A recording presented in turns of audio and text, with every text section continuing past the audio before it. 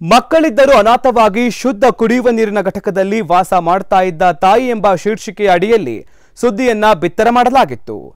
ಈ ಸುದ್ದಿಯನ್ನ ನೋಡಿದಂತಹ ತಾಲೂಕು ದಂಡಾಧಿಕಾರಿ ಎಂ ಮಲ್ಲಿಕಾರ್ಜುನ್ ಅವರು ಸ್ಪಂದಿಸಿದ್ದಾರೆ.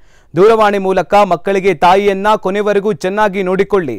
ನಿಮ್ಮ ತಾಯಿಗೆ ವೃದ್ಧಾಪ್ಯ ಪಿಂಚಣಿಯ ಯೋಜನೆ ಮಾಡಿಕೊಡ್ತೇವೆ.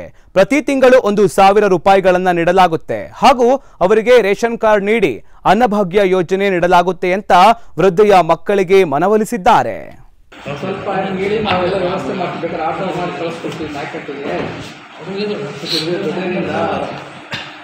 ನೀವು ಇಲ್ಲಿ ಹೇಳ್ಬಿಟ್ಟು ಮೇಡಮ್ಮ ಹೋಗಿ ಅವ್ರನ್ನ ಯಾರು ಕಾಯ್ಕೋಬೇಡ ಮಕ್ಕಳು ಬರಲ್ಲ, ಅವ್ರು ಬರಲಿ ಅಂತ.